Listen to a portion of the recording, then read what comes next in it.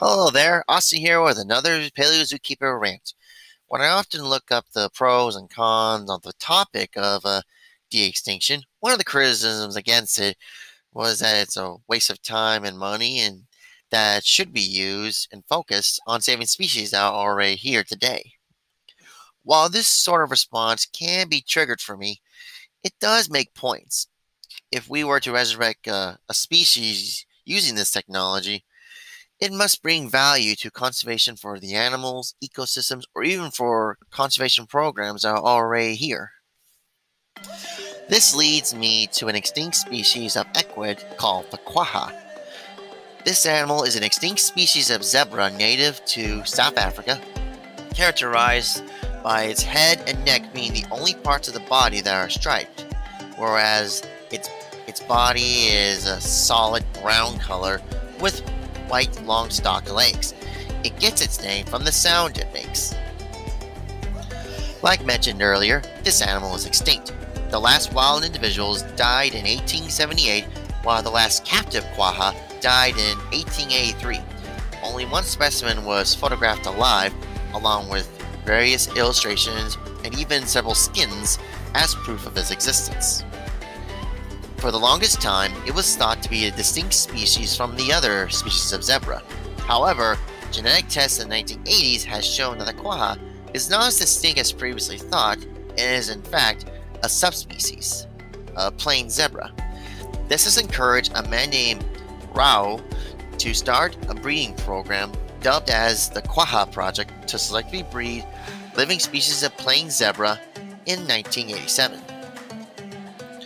This illustration shows what many of the resulting quagga look like from the project, with more recent individuals looking closer to the original quagga, but still not quite there yet. I greatly admire and support the work that this project is going for and what it stands for.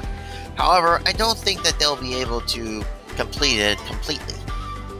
And this is where I think using genetic technology like CRISPR would definitely help them out doing so by genetically editing, which is what CRISPR is, living zebras with quagga genes, especially the ones that are responsible for its appearance.